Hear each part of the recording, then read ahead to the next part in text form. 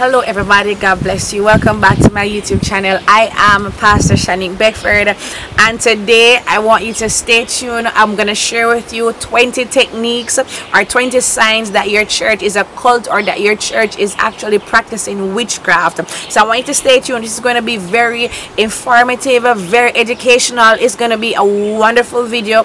But before I go any further, I want you guys to go ahead and make sure you like this video, leave a comment, comment more than once so that way YouTube's algorithm can share the video so that many more persons can be blessed by this video. Make sure you are subscribed and hit the share button share with a friend. All right so let's just go ahead and read the clip and let's come back.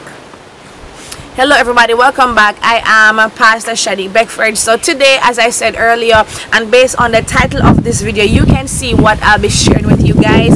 I'm going to be talking to you about 20 signs or techniques that your pastor uses or your church uses that can help you to identify if you are a part of a cult or if witchcraft is being practiced or used on members or said persons, whoever it is within the church organization. All right. So number one is number one. And these these signs the signs i'm going to share with you guys they're not necessarily in any set um they're not set in any uh, what should i say? It's not it, it, i'm just going to throw the signs out there all right so number one is isolation. If there is witchcraft within a part witchcraft being practiced in a particular church or if the church is actually a cult organization you're going to experience isolation. Now isolation is the loss of reality and this is induced by physical separation from society. So they're going to brainwash you or charm you into believing that you should not associate yourself with persons outside in the world. You should just take yourself into a place of isolation because you are no longer like them or you're no longer a part of them. So if you are being isolated or pushed into a place where you're being isolated from the outside world then something is definitely wrong. You uh, you should not be told that you are so saved or you're so sanctified that you should not sit in a place or come to a place where you can socialize with persons who are not a part of that organization. So once you feel as though you are being told you have to isolate from everyone else who is not a part of that uh, organization or church then something is definitely wrong. So isolation is a us is a is a is a is a fact is a key that you have to pay attention to all right? And a lot of churches actually do that. They'll tell you once you're a member of this church or cult or whatever organization they'll tell you you are not allowed you're not permitted to visit other churches you're not permitted to go to certain uh, conferences certain uh, concerts or you're not permitted to go and socialize with anybody else. So this is definitely something that you have to pay attention to number two is you have hypnosis and once i say hypnosis i know some persons are saying oh this is a bit deep. Um hypnosis isn't something that is practiced in modern day church. But i want you to understand that even though it is hypnosis that is being done it is not necessarily brought across as actual hypnosis. No this is a state this is a state of high suggestibility induced by hypnosis often thinly disguised as meditation. So there are some churches they disguise hypnosis as meditation and then there are some other churches they use they they use some other terminology for meditation because they don't believe in meditation or they don't believe in using that term meditation or hypnosis. So you have to be able to discern the difference between the words and what is actually being done. And the reason why this hypnosis is being done I've just researched the whole psychological explanation behind hypnosis and this is what it says it says traditional hypnosis is when a hypnotist puts a person into an alternate state that opens them up to a command. So this is what the church does. This is what many pastors and cult leaders or witchcraft operators do. They put you into a state, an alternate state a state of being hypnotized and so this opens you up to being vulnerable it opens you up to take certain levels of command so once you're in that state whatever they tell you to do you're able to do it.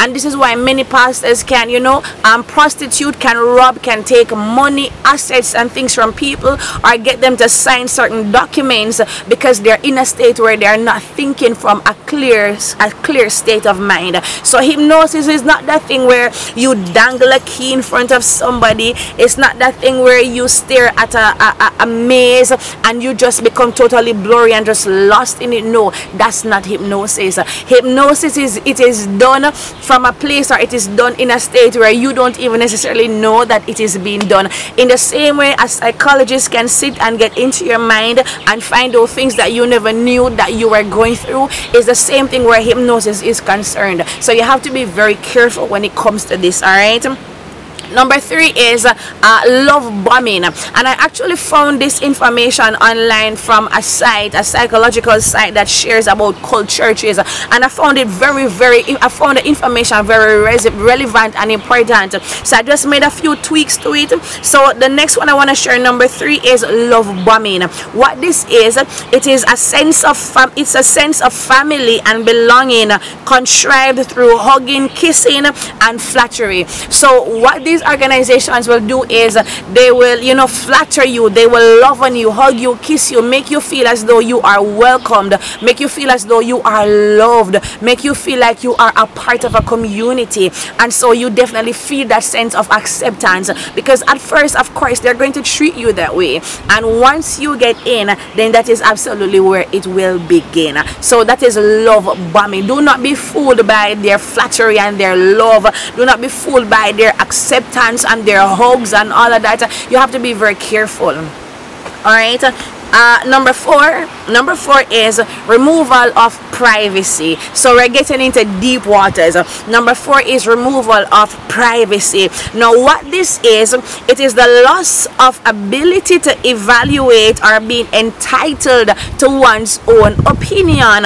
This is logically achieved by preventing private contemplation. So by removing the removing the sense of privacy or removal of privacy they're simply your pastor your leader, your church or organization that witchcraft place or cult place is simply trying to say or simply trying to remove your privacy where you are not allowed, you're not permitted to have any form of um, evaluation. You can't evaluate things before you make decisions.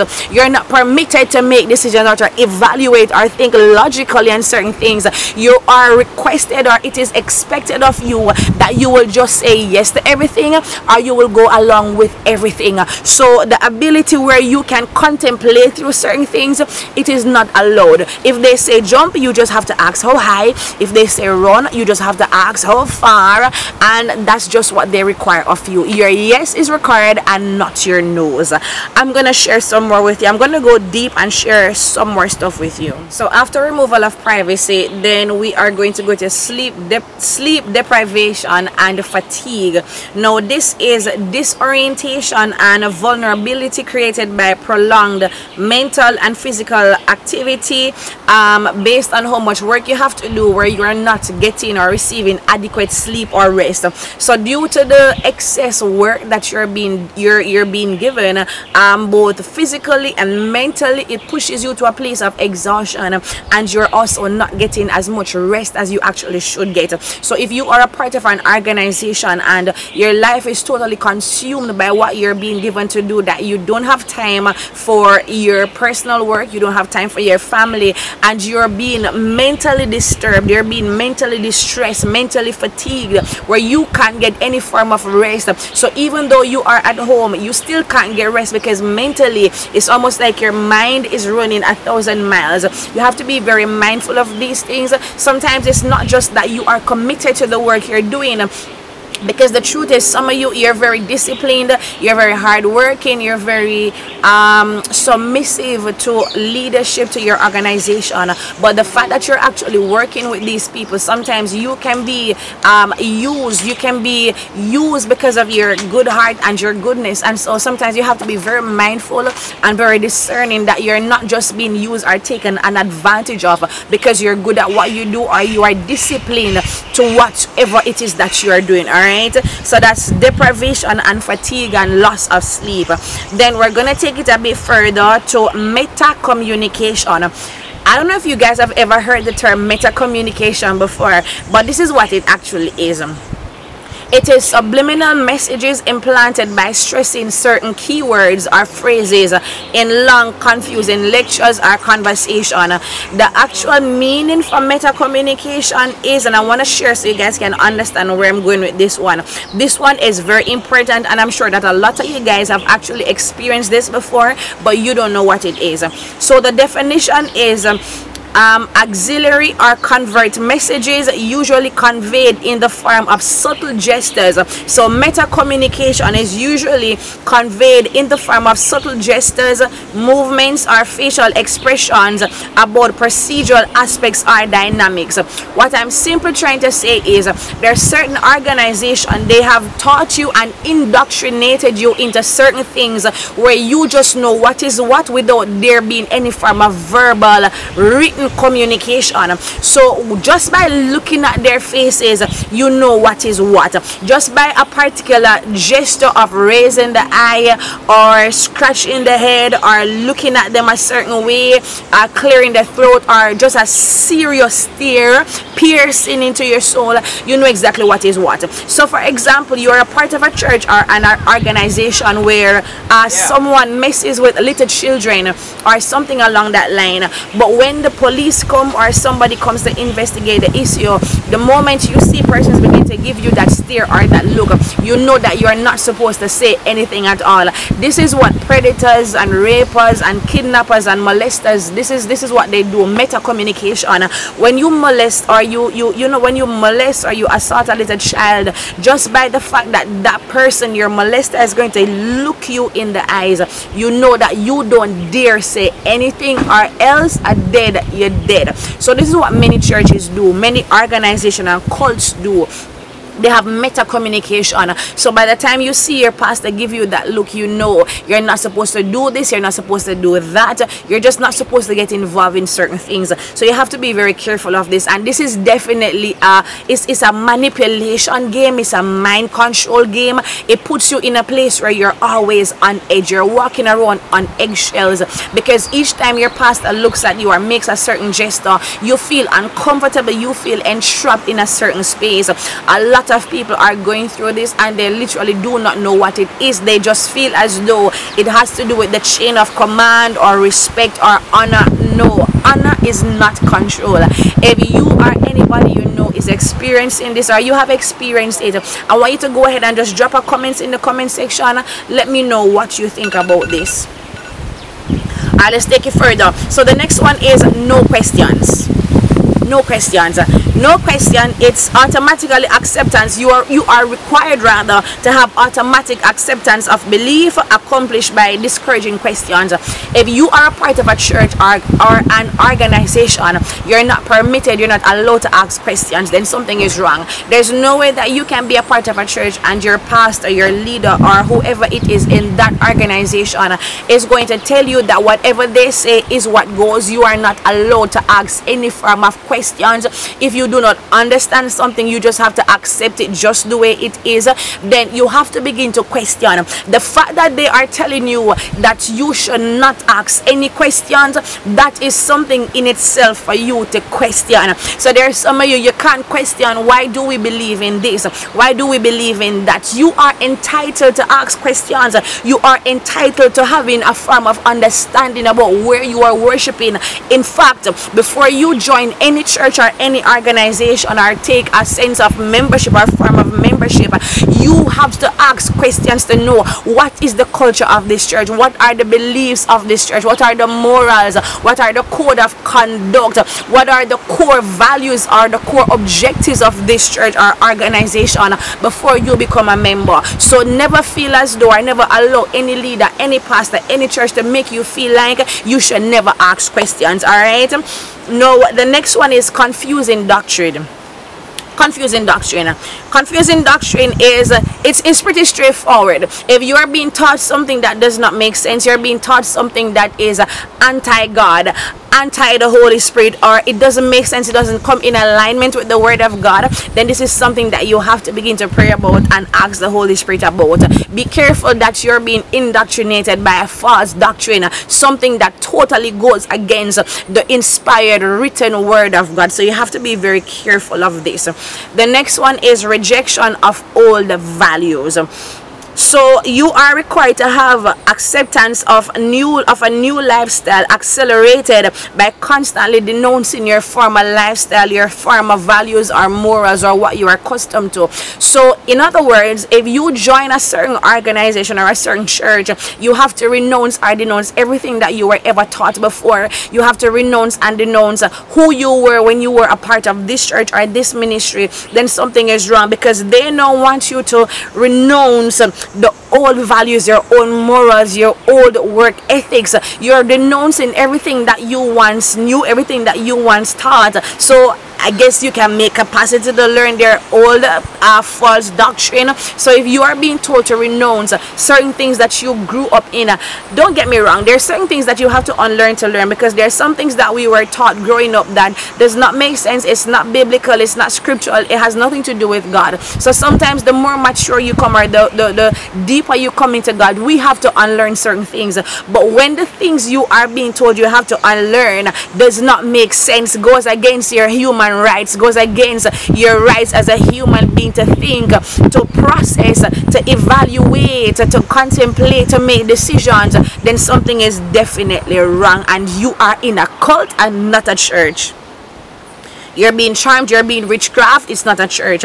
And the next one is confession so if you are a part of a church and you are required to make certain confessions such as destruction of personal egos, increased vulnerability to new teaching and recruits weakness revealed through sharing innermost secrets, you have to be careful of this as a pastor, as a leader, I encourage persons to heal on their own terms, heal on their own timing, to get over certain things through counseling and deliverance on their own time.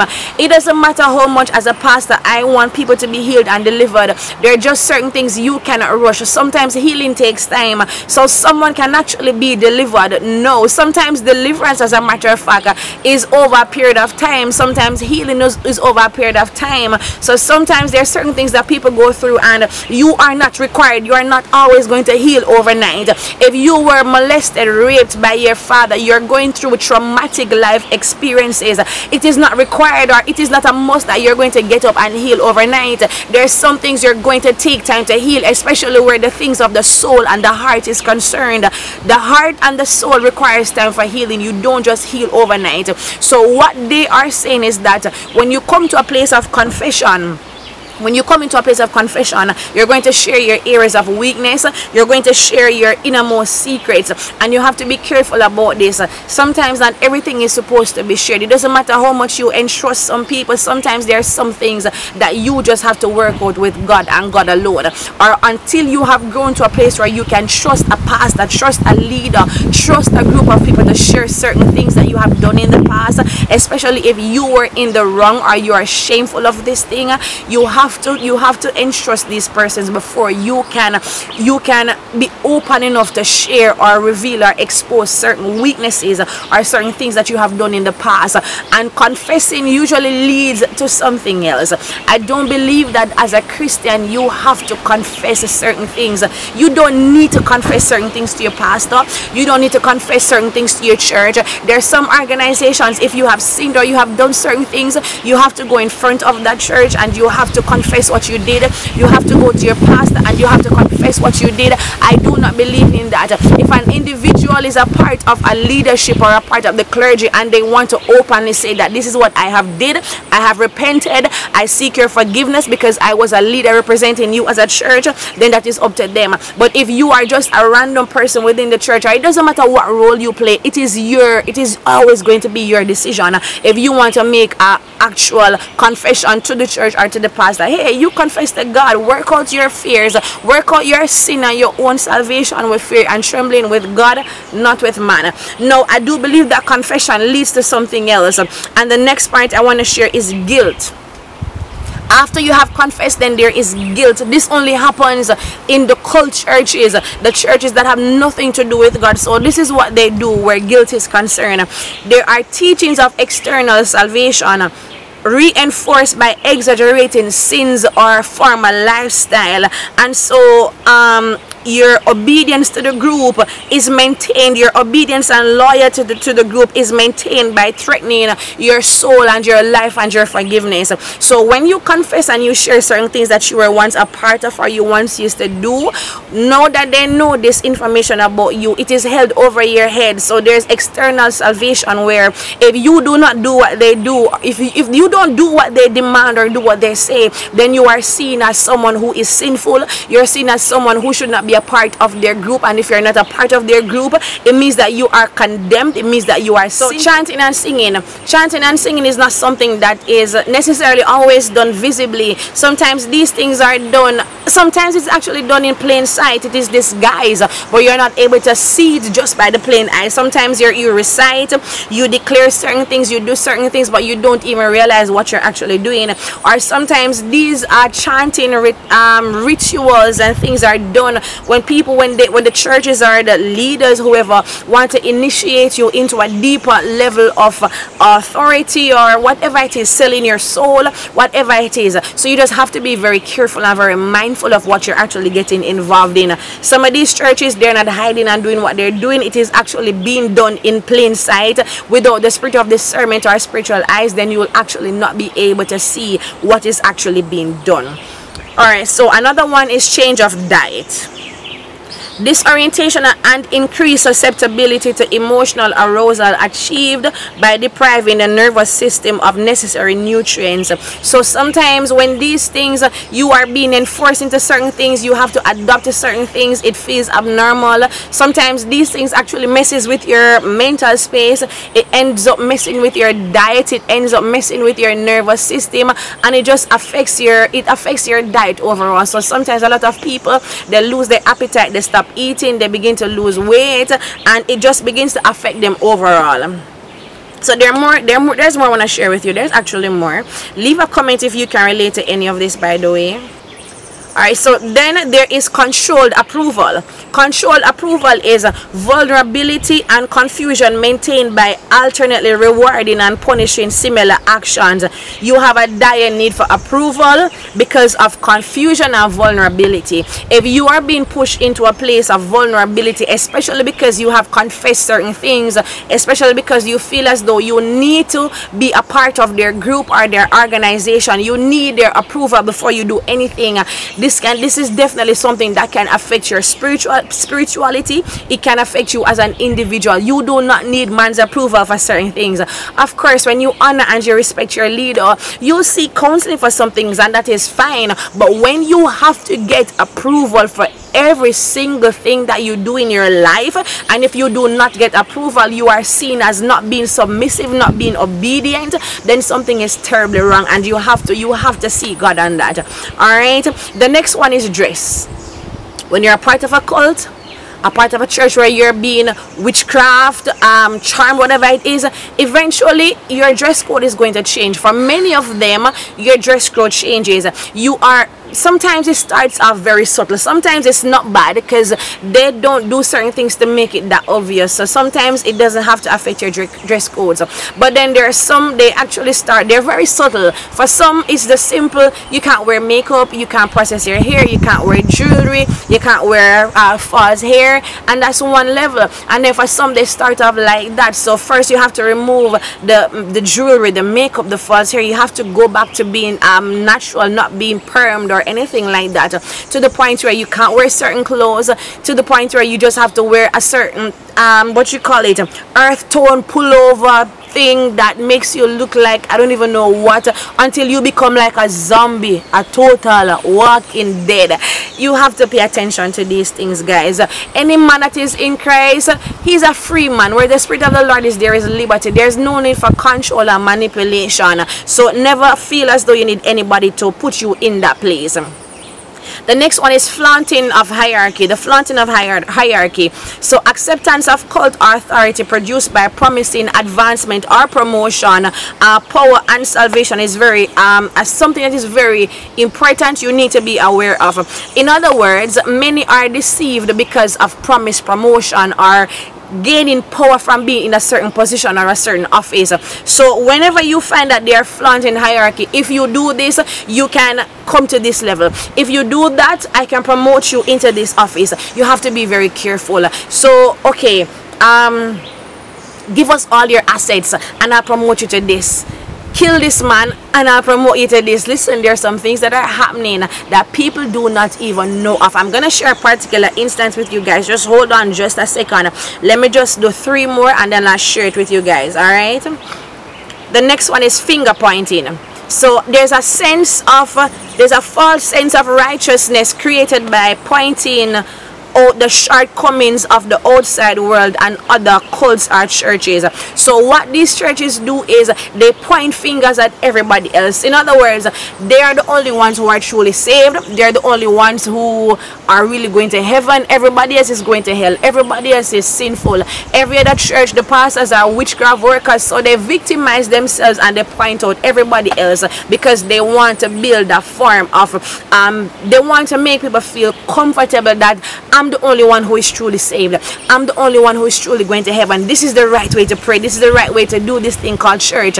You have to be careful. When you're going to a church where they make every other church seem like they are not of God, then something is wrong. As a pastor, I'm not the only one who is going to heaven.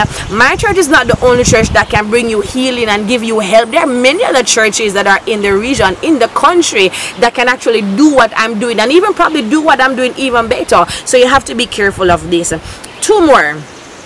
Replacement of relationships and this is something that is very deep very serious.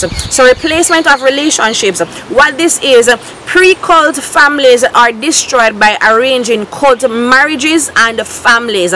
So what this does is they pull you to a place of isolation from your previous friends and families. This is why oftentimes you hear that people are moving out of their family house moving out from their wives their children their actual families to join a certain organization.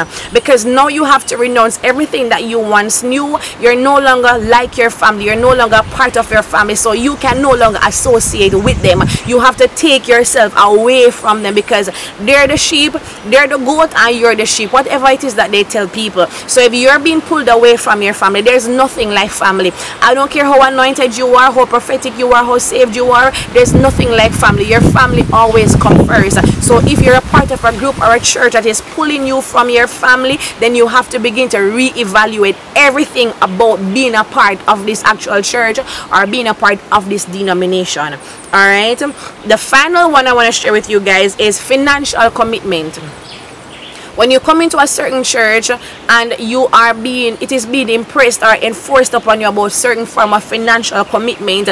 And i'm not just talking about people saying oh you should pay your tithe. Tithing is very good. No. I'm not talking about you being a partner at the end of the month something that you can afford. No. I'm talking about certain levels of commitment increased dependence. I'm talking about you coming to a place where you are required to give them your entire finances your entire assets your house your car everything and then you become completely dependent on them. This is what a lot of ministries do a lot of churches do. There was one particular church in Montego Bay where all the members all the people they well not all but there were some people that gave over their health insurance. There's some people that gave over their cars their houses their properties to this particular pastor and then he would in turn take care of them. You have to be very mindful of this. You cannot be giving over everything every single thing to a church and then the church will take care of you. No you do not need to go to these extremes. And when I say you have to I mean you have to or your salvation becomes invalid. Pay attention to these things. Pay keen attention to these things. How can you sign over your health insurance to another pastor? So you have to be very careful of these things. So you have to be careful of giving over everything that you have worked hard to some of these pastors and then you begin to live a life of dependency on them. So another one let me share this final one. Another one is your children. You have to be careful of leaving your children with pastors with leaders where you're being told oh you have to bring your children because we want to teach them we want to train them about certain things because you have no idea what some of these uh, leaders pastors or people will actually do to your children. So you have to be very very very careful of this so do not allow anyone to put you in a state of hypnotization, a place of you're being charmed. Sometimes, as I said, these things happen and people don't even realize it is happening. Let's take, for instance, the uh, Sir Excellency False Prophet man from Montego Bay. How did he get people to give over their houses, their cars, their assets, their health insurance, and all of these things to him as a, as a whoever he was how does he get people to come to a place where he can say to a man um, tell people to bring cows to bring animals because they're going to go on the ark? How can he say to someone like the man that was there okay kill this one because we need blood and blah blah blah. How, how do you tell someone just to kill this person and they kill them? Kill another person and they kill them you listen know god for yourself. If you are going through if you are in a church where you see these subtle signs do not wait for it to get worse. Do not be afraid to run. There's so many people who are experiencing these things and worse and they're still seeking god. If you see these signs what are you seeking god about? Run for your life. Protect yourself. Protect your family. There are too many who have died at the hands of false prophets cult leaders witchcraft workers who seem or pretend to be a pastor. So i wanted to share this with you guys. I hope that this has blessed you or opened your eye to a certain degree. If it has please leave a comment below. Share the video with a friend. Share it as many persons as you can. Remember to subscribe. Um, stay tuned for more content and more video coming up on this channel. I'm prophetess shanique beckford. Thanks for watching and have a wonderful rest of day